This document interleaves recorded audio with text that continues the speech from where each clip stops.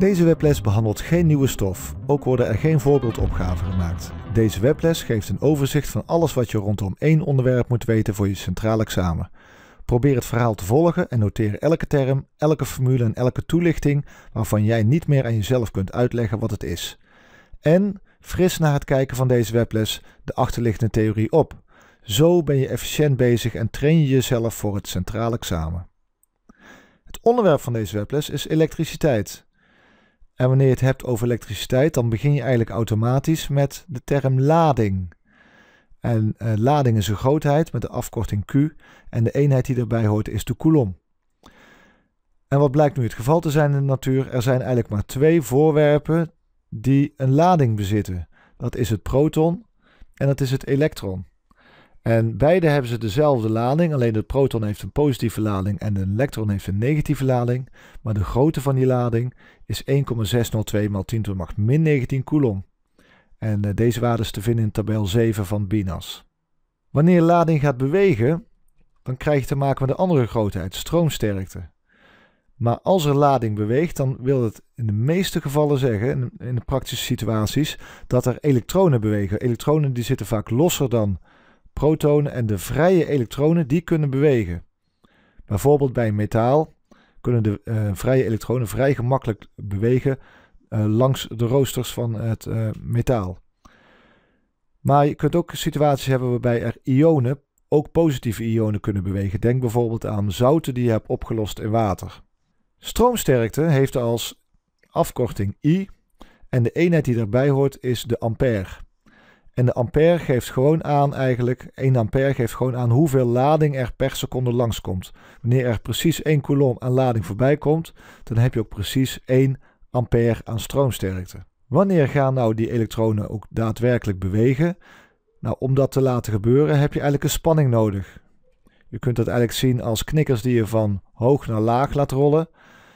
Die spanning geeft eigenlijk het hoogteverschil aan. En als je geen hoogteverschil hebt, dan gaat er ook niks rollen en dan gaan er ook geen elektronen bewegen. De eenheid van spanning, uh, sorry, de afkorting van spanning is hoofdletter U en de eenheid is volt. En wat wil nu 1 volt zeggen? Dat is niets meer of minder dan dat 1 coulomb aan lading 1 joule heeft meegekregen van de zogenaamde spanningsbron. En zo'n spanningsbron kan bijvoorbeeld zijn een accu of een batterij. Wanneer je nu de stroom wil gaan meten, dan maak je gebruik van een stroommeter. En een stroommeter dien je altijd in serie te zetten met uh, de onderdelen in jouw, schakel, uh, in jouw schakeling. Dus een stroommeter zet je altijd in de schakeling. Uh, een spanningsmeter daarentegen, die meet altijd het spanningsverschil op twee verschillende punten. En de spanningsmeter zet je dus altijd parallel aan de schakeling. Wanneer je te maken hebt met een spanningsverschil en ehm, je wil weten hoe groot de stroom is die gaat lopen, dan heb je nog een derde grootheid nodig. En dat is de weerstand R. Wanneer een voorwerp een hoge weerstand heeft, dan heb je veel spanning nodig om een bepaalde stroom te laten lopen. En de afkorting van weerstand is hoofdletter R en de eenheid die erbij hoort is de ohm. Een andere grootheid waarmee je dat um, tegenhouden van stroom kunt beschrijven is de geleidbaarheid, hoofdletter G, met uh, als eenheid de Siemens.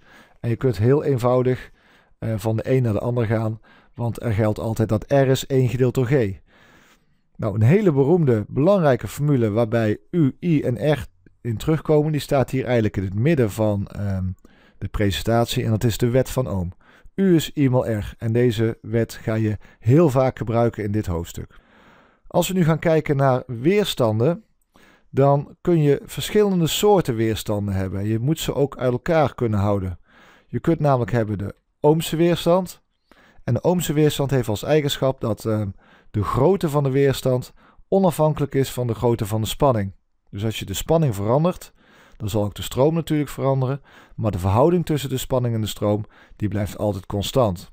Een PTC daarentegen gedraagt zich anders en een bekend voorbeeld van een PTC is de gloeilamp. Daar zit een uh, metaaldraadje in en wat je zult zien bij een PTC, wanneer je uh, het metaaldraadje, de weerstand in temperatuur verhoogt, door bijvoorbeeld de spanning te verhogen en daardoor ook de stroomsterkte, als die temperatuur toeneemt, dan zal een PTC een steeds hogere weerstand krijgen. Dus de weerstand neemt toe naarmate de temperatuur toeneemt. En daar staat PTC ook voor. Positieve temperatuurscoëfficiënt. Ja, dan heb je natuurlijk ook NTC-weerstanden. En die hebben als eigenschap dat als de temperatuur toeneemt, dat dan de weerstandswaarde juist afneemt. Een vierde veel voorkomende soort weerstand is de zogenaamde LDR. En een LDR is een aparte weerstand, want daar kun je licht op laten vallen. En wanneer je licht laat vallen op een LDR, dan zal de weerstand gaan veranderen. Dus de weerstand hangt af van de lichtintensiteit die erop valt. En wat je dan zult zien is dat als er veel licht is, dat dan de weerstandswaarde van de LDR afneemt. De volgende in het rijtje is eh, de diode. En je ziet eigenlijk al aan het uh, tekentje van de diode wat een diode doet. Een diode houdt uh, de stroom in één richting tegen en laat de stroom in de andere richting wel toe. Dus een diode is richtingsgevoelig. En wanneer de diode licht uitzendt, dan, dan, die kennen we allemaal, dan noemen we dat een LED-lampje. Een LED-lampje is gewoon een soort diode. We hebben een draad, dan blijkt de weerstand van de draad af te hangen van een aantal grootheden. En je kunt dan die weerstand van de draad berekenen met de volgende formule. De weerstand hangt dan af van de lengte van de draad, L, van de doorsnede van de draad, dat is dus het oppervlak als je hem doorknipt en je kijkt er tegenaan, en van uh, de letter ρ. En ρ staat voor de soortelijke weerstand. En de soortelijke weerstand, dat is een uh, stofeigenschap. Elke stof heeft een bepaalde soortelijke weerstand. Die kun je in BINAS vinden. En wat blijkt nu het geval te zijn? Stoffen met een hele hoge soortelijke weerstand, die laten stroom dus moeilijk door en die zul je isolatoren noemen. En stoffen met een relatief lage soortelijke weerstand, die noem je geleiders. En metalen zijn bijvoorbeeld voorbeeld, voorbeelden van geleiders. Die kunnen allemaal vrij goed tot zeer goed stroom geleiden. Dan gaan we kijken naar twee belangrijke wiskundige formules. Dat zijn de wetten van Kirchhoff. En de wetten van Kirchhoff zeggen iets over de stroom en de spanning wanneer je een schakeling hebt. En we gaan eerst de wet uh, kort bekijken en daarna gaan we die toepassen. Wat houdt deze wet van Kirchhoff in? Deze wet van Kirchhoff gaat altijd over een knooppunt waar dus meerdere draadjes in jouw schakeling bij elkaar komen. En hier staat eigenlijk niets anders dan dat wanneer je zo'n knooppunt bekijkt, dat er dan evenveel stroom inloopt als dat er uitloopt.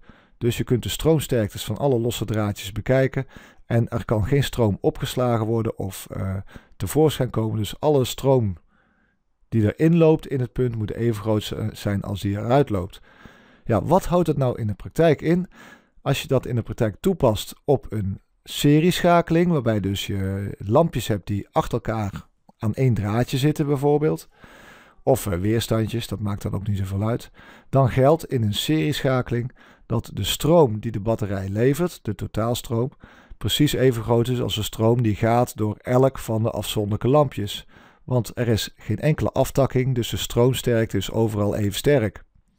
In een parallelschakeling krijg je dus dat elk lampje zijn eigen aftakkingje heeft. En dan geldt ook dat de totaalstroom die geleverd wordt door de batterij gelijk is aan de optelling van alle deelstromen door elk lampje apart.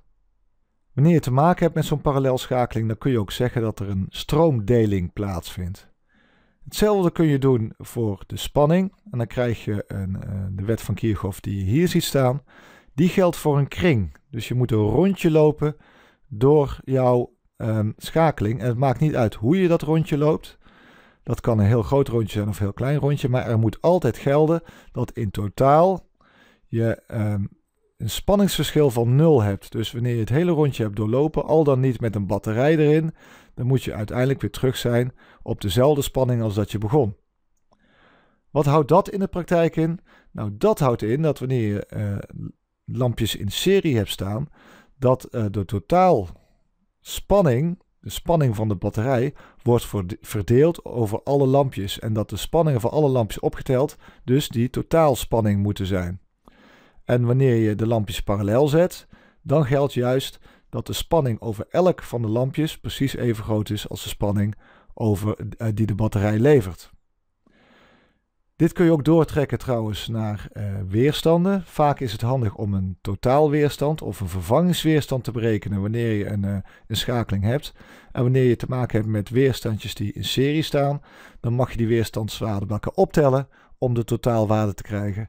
En wanneer je de weerstandjes parallel hebt staan, dan moet je juist de geleidbaarheid van elk van die weerstandjes optellen en dan krijg je totale geleidbaarheid. Wanneer je iets wil zeggen over een uh, apparaat in, in je schakeling, bijvoorbeeld hoeveel uh, energie dat apparaat verbruikt, dan komt er een, uh, een, nieuwe grootheid om de hoek kijken en dat is de grootheid vermogen, afkorting P van het Engelse power en het heeft ook een Engelse eenheid, namelijk de watt. En om het vermogen uit te rekenen dat door bijvoorbeeld een lamp of een ander apparaat geleverd wordt, heb je twee dingen nodig. Dat is namelijk de spanning die over dat apparaat staat en de stroomsterkte die door het apparaat heen loopt. Uh, P is U I. En met een beetje substitutie aan de hand van uh, de wet van Ohm kun je ook nog zeggen dat moet gelden P is U kwadraat gedeeld door R of P is I kwadraat maal R. Dus je hebt eigenlijk drie verschillende formules die alle drie kunt gebruiken om het vermogen van een apparaat uit te rekenen. Ja, hoeveel energie verbruikt een apparaat dan? Uh, die formule is niet heel erg moeilijk. Er geldt namelijk uh, E is P maal T, vermogen maal tijd.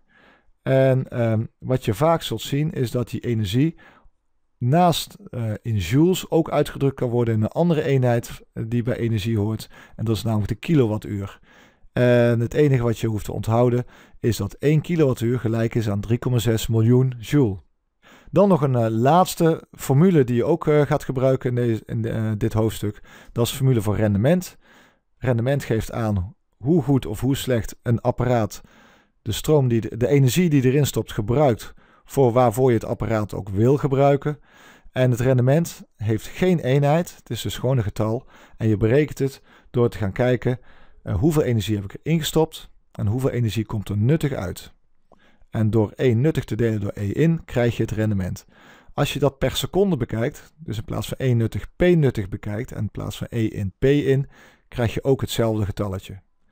Je kunt altijd controleren of je geen stom rekenfoutje hebt gemaakt, want het rendement ligt altijd tussen de 0 en de 1, of hetzelfde gezegd tussen de 0 en de 100%. Tot slot moet je ook nog wat kunnen zeggen over de huisinstallatie. Daar zitten een aantal onderdelen in en die moet je wel uh, kunnen benoemen. En uh, die onderdelen die uh, zijn de zekering, de, de smeltzekering. Ja, de functie van de smeltzekering is dat wanneer de stroom door een bepaald draad te hoog wordt, dat er dan ergens in de zekering een dun draadje doorsmelt. En dat zorgt ervoor dat er verder geen gekke dingen kunnen gebeuren in je stroomkring. En de zekering beschermt dus jouw huisinstallatie tegen uh, bijvoorbeeld uh, brand, doordat er ergens een draad te warm wordt. En dat kan gebeuren wanneer je kortsluiting krijgt. En kortsluiting houdt eigenlijk in dat, uh, dat je een alternatieve route biedt aan jouw elektronen. Je elektronen kunnen dan een route kiezen waarbij ze heel weinig weerstand tegenkomen. Dus eigenlijk alleen een, door een draad hoeven bijvoorbeeld. En wat je dan zult zien is dat er een hele grote stroomsterktes gaat gaan lopen, waardoor het draad kan gaan verhitten en je dus uh, brand kunt krijgen. En dan heb je dus echt die zekering nodig om de boel te beschermen. Aardlekschakelaar beschermt ook de boel, maar niet tegen kortsluiting, maar uh, die beschermt de mens tegen te hoge schokken. Een aardlekschakelaar meet namelijk continu of er evenveel stroom het huis verlaat als dat er het, het huis binnenkomt. En wanneer er dus minder stroom het huis uitloopt dan dat er inloopt, dan wil zeggen dat er ergens onderweg stroom is gaan lekken. En dat zou bijvoorbeeld kunnen doordat iemand een schok krijgt. Dan loopt de stroom door jou uh, en door jouw voeten naar de aarde. En dat is een uh, potentieel zeer gevaarlijke situatie. En de aardlegschakelaar die zorgt vrijwel direct dat de stroom in jouw hele huis uitvalt. En zodat er uh, ook geen dodelijke slachtoffers kunnen vallen. Nou, tot slot de kilowattuurmeter. Ja, de kilowattuurmeter, daarmee kun je dus meten jouw energieverbruik. Een allerlaatste opmerking heeft nog te maken met die stroomsterkte, want er zit een gek uh, detail in. De stroomsterkte, de richting van de stroomsterkte is altijd gedefinieerd van de pluskant van de batterij bijvoorbeeld naar de minkant. En dan loopt die dus door een schakeling. Maar als je nu gedetailleerd gaat kijken, dan zul je zien dat er eigenlijk elektronen lopen. En die elektronen lopen precies de andere kant op, van de min naar de plus. Dus let daar goed op. Als of echt vragen naar de richting van de elektronen, dan moet je precies de tegenovergestelde richting pakken uh, dan de richting van de stroomsterkte.